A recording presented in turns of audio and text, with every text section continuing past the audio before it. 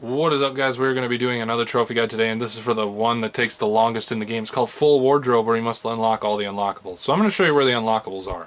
So they're right here. So this is all the unlockables. You have to make it to level 30 in order to unlock everything and then you unlock this thing as well at rank 30. So you got to reach rank 30. So I bet you're wondering, is there any way to do this easily? Actually, yeah, there actually is. so I'm going to show you how to do that. So what you're going to want to do is you can either play local online, it really doesn't matter. I'm going to play local.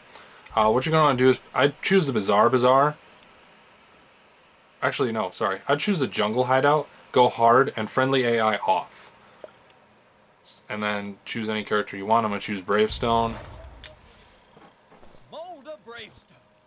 I also need to play for 19 more seconds to get the What Year Is It Now trophy, and then Full Wardrobe is the only one I have left.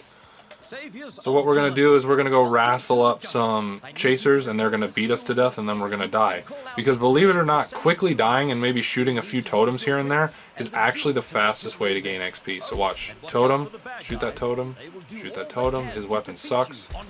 Okay, we just got what year is it? Alright, so let these two beat the living crap out of you. I gotta find a health pack. So now we're down to two lives. You're going to go back to the same two people. And you're going to let them beat the crap out of you. Actually, you can probably garner more of them. But just a couple punches each. And then there's your second life. Okay, you got a totem too, so you're going to get a little, little XP. But this is actually the fastest way to do this. I shit you not. Someone in PlayStation Trophies actually showed me this, that this is actually the quickest way to do it, and I'd like to thank them for it. But as you can see, we just gained XP, and now we can just go start again, so that's how easy this gets. So that's how you're going to get full wardrobe. You're just going to keep going, dying, going, dying, going, dying. Maybe getting a few totems in between to get a few extra points, but that is the fastest way to garner XP in this game.